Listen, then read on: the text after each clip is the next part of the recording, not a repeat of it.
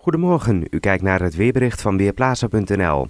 Vandaag hebben we te maken met veel bewolking, dat is ook te zien op de satellietfoto. Af en toe breekt wel even de zon door, dat gebeurt met name in het zuiden van het land.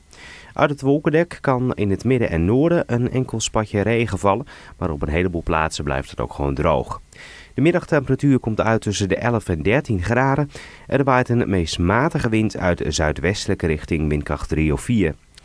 Ook vanavond hebben we een afwisseling van wolkenvelden en wat opklaringen. Het blijft dan op de meeste plaatsen droog en de temperatuur daalt alweer naar een graad of 9. Komende nacht uiteindelijk minima rond een graad of 5 en dan kan er ook mist gaan ontstaan.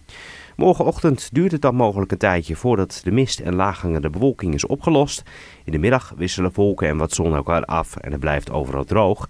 Het wordt 12 tot 14 graden.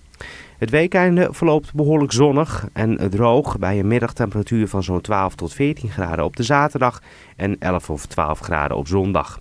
Ook maandag geregeld zon en dan is het een graad of 13. Over het algemeen staat er weinig wind. Ik ben Ben Langkamp van Weerplaza.